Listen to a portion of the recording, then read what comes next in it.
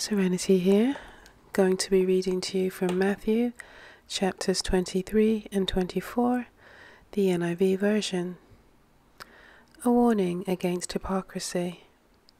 Then Jesus said to the crowds and to his disciples, The teachers of the law and the Pharisees sit in Moses' seat, so you must be careful to do everything they tell you but do not do what they do, for they do not practice what they preach. They tie up heavy, cumbersome loads and put them on other people's shoulders, but they themselves are not willing to lift a finger to move them. Everything they do is done for people to see. They make their phylacteries wide and the tassels on their garments long. They love the place of honor at banquets and the most important seats in the synagogues. They love to be greeted with respect in the marketplaces and to be called Rabbi by others. But you are not to be called Rabbi, for you have one teacher, and you are all brothers. And do not call anyone on earth Father for you have one Father, and he is in heaven. Nor are you to be called instructors, for you have one instructor, the Messiah. The greatest among you will be your servant. For those who exalt themselves will be humbled, and those who humble themselves will be exalted. Seven Woes on the Teachers of the Law and the Pharisees. Woe to you, teachers of the law and Pharisees, you hypocrites! You shut the door of the kingdom of heaven in people's faces. You yourselves do not enter, nor will you let those enter who are trying to. Woe to you, teachers of the law and Pharisees, you hypocrites! You travel over land and sea to win a single convert, and when you have succeeded, you make them twice as much a child of hell as you are.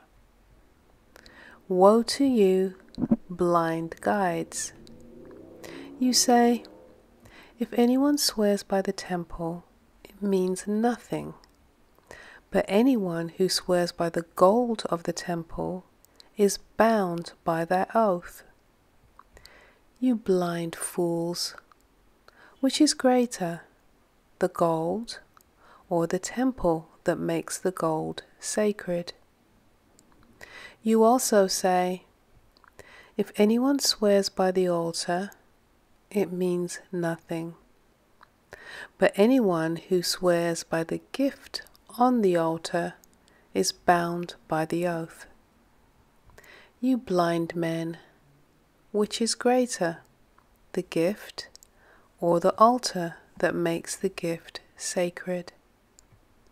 Therefore, anyone who swears by the altar swears by it and by everything on it. And anyone who swears by the temple swears by it and by the one who dwells in it. And anyone who swears by heaven swears by God's throne and by the one who sits on it. Woe to you, teachers of the law and Pharisees, you hypocrites! You give a tenth of your spices, mint, dill, and cumin but you have neglected the more important matters of the law justice, mercy, and faithfulness. You should have practiced the latter without neglecting the former. You blind guides, you strain out a gnat, but swallow a camel. Woe to you, teachers of the law and Pharisees! You hypocrites. You clean the outside of the cup and dish, but inside They are full of greed and self indulgence. Blind Pharisees. First clean the inside of the cup and dish, and then the outside also will be clean. Woe to you, teachers of the law and Pharisees, you hypocrites! You are like whitewashed tombs, which look beautiful on the outside, but on the inside are full of the bones of the dead and everything unclean. In the same way, on the outside you appear to people as righteous, but on the inside you are full of hypocrisy and wickedness. Woe to you, teachers of the law and Pharisees, you hypocrites! You build tombs for the prophets and decorate the graves of the righteous. And you say, If we had lived in the days of our ancestors, we would not have taken part with them in shedding the blood of the prophets. So you testify against yourselves that you are the descendants of those who murdered the prophets. Go ahead, then, and complete what your ancestors started. You snakes, you brood of vipers, how will you escape being condemned to hell? Therefore, I am sending you prophets and sages and teachers some of them you will kill and crucify. Others you will flog in your synagogues and pursue them from town to town. And so upon you will come all the righteous blood that has been shed on earth, from the blood of righteous Abel to the blood of Zechariah, son of Berechiah, whom you murdered between the temple and the altar. Truly I tell you, all this will come on this generation. Jerusalem, Jerusalem, you who will kill the prophets and stone those sent to you, how often I have longed to gather your children together, as a hen gathers her chicks under her wings, and you were not willing. Look, your house is left to you desolate. For I tell you, you will not see me again until you say, Blessed is he who comes in the name of the Lord. The destruction of the temple and signs of the end times. Jesus left the temple and was walking away when his disciples came up to him to call his attention to its buildings. Do you see all these things? he asked. Truly, I tell you, not one stone here will be left on another. Every one will be thrown down. As Jesus was sitting on the Mount of Olives, the disciples came to him privately. Tell us, they said, when will this happen? And what will be the sign of your coming and of the end of the age? Jesus answered, Watch out that no one deceives you, for many will come in my name, claiming, I am the Messiah, and will deceive many. You will hear of wars and rumors of wars, but see to it that you are not alarmed. Such things must happen, but the end is still to come. Nation will rise against nation, and kingdom against kingdom. There will be famines and earthquakes in various places. All these are the beginning of birth pains. Then you will be handed over to be persecuted and put to death, and you will be hated by all nations because of me. At that time, many will turn away from the faith and will betray and hate each other. And many false prophets will appear and deceive many people. Because of the increase of wickedness, the love of most will grow cold, but the one who stands firm to the end will be saved. And this gospel of the kingdom will be preached in the whole world as a testimony to all nations, and then the end will come. So when you see standing in the holy place the abomination that causes desolation spoken of through the prophet Daniel, let the reader understand. Then let those who are in Judea flee to the mountains. Let no one on the housetop go down to take anything out of the house. Let no one in the field go back to get their cloak. How dreadful it will be in those days for pregnant women and nursing mothers. Pray that your flight will not take place in winter or on the Sabbath, for then there will be great distress, unequaled from the beginning of the world until now, and never to be equaled again. If those days had not been cut short, no one would survive. But for the sake of the elect, those days will be shortened.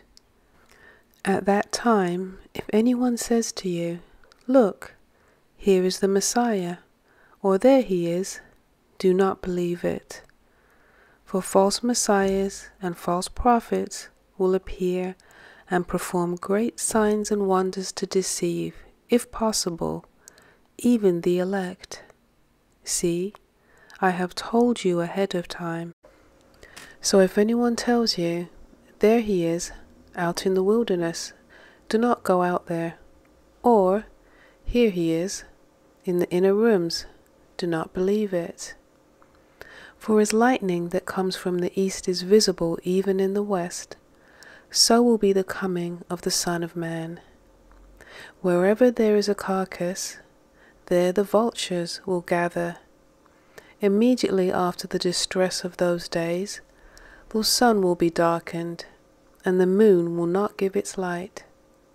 The stars will fall from the sky, and the heavenly bodies will be shaken. Then will appear the sign of the Son of Man in heaven, and then all the peoples of the earth will mourn when they see the Son of Man coming on the clouds of heaven with power and great glory.